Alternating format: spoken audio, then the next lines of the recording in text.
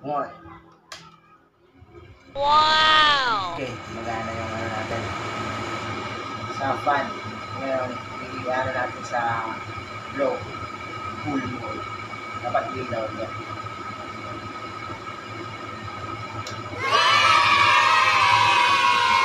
Ibig sabihin, okay yung wiring natin. Yo! Welcome back to my YouTube channel. Ngayon, itutuloy na natin yung ginawa ko nung nakarang araw na i-demo natin actual. Eh, ito na yung fun na sinasabi ko. Um, ngayon na ibabalik ko muna to sa control box yung yung mga parts para para pagyaman natin ng ayos.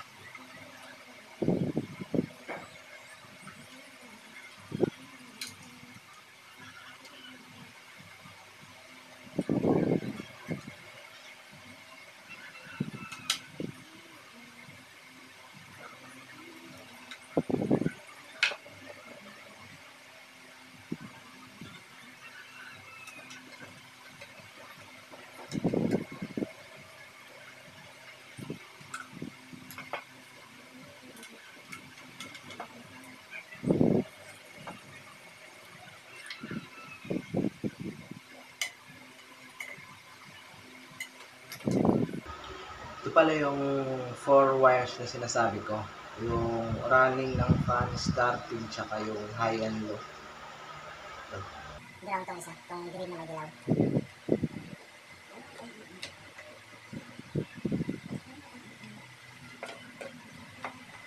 Bali, ito yung gagamitin nating compressor kasi hindi pa ako makabili ng compressor eh. Ito muna yung asad na compressor. Itong ilaw lang muna.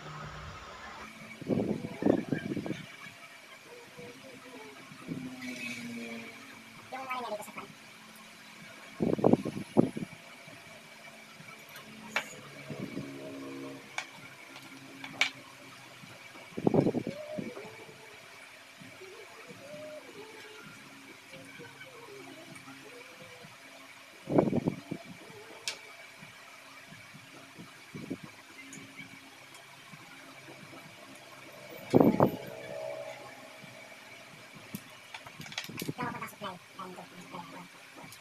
Supply ako. Ito na yun. Kain na. Bibilisan ko lang kasi may, may paliwanag ko na naman din ito ng unang video para ma-demo agad natin.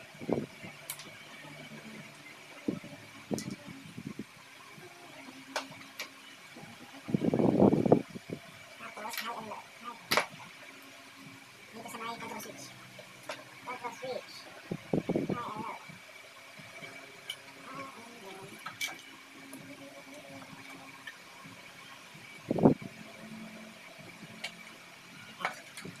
low. Tapos yung, yung zero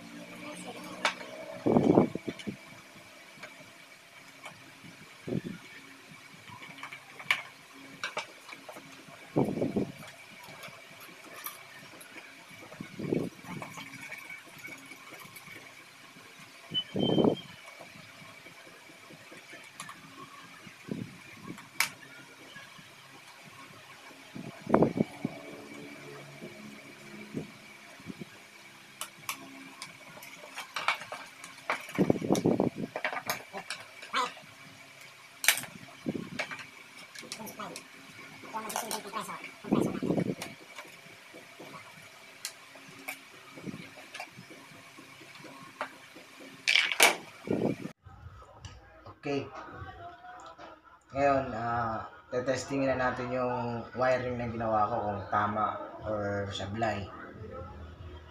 Ah, ito yung magiging compressor natin. Ibig sabihin, pag umilaw siya, ah, naka-select na tayo sa cool mode kasama yung compressor tsaka yung fan. Unang click dapat fan lang muna. Fan. Pangalawa, saka lang siya ilaw kasi sa cool sa cool siya sa low siya sasabay dapat ilaw siya. Okay, check na natin. In 3 2 1 Okay, magana yung ano natin. Sa fan. Ngayon, i-ano natin sa low. Cool mode. Dapat ilaw niya.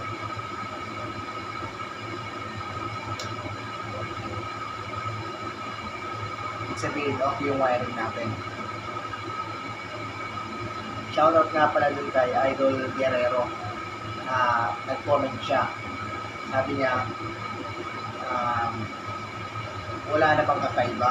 Gusto yung, sabi niya, mag-try daw ng analog to digital. Kaya naman yung loads, kaso limitado lang yung mga piyasa natin. Ginagawa kong video ay kung ano lang yung available ko rito. Kagaya nito, window AC. Yun lang kasi yung available ko dito. Kaya kung ano yung mga pwedeng ituro about window AC, yun lang yung ginagawa kong video. Pero hayaan mo, gagawin natin yan pag nakabalik ako ng Palaw. Kahit chichilan pa yan. O kung ano pa yung mga suggestion mo, gagawin natin yan.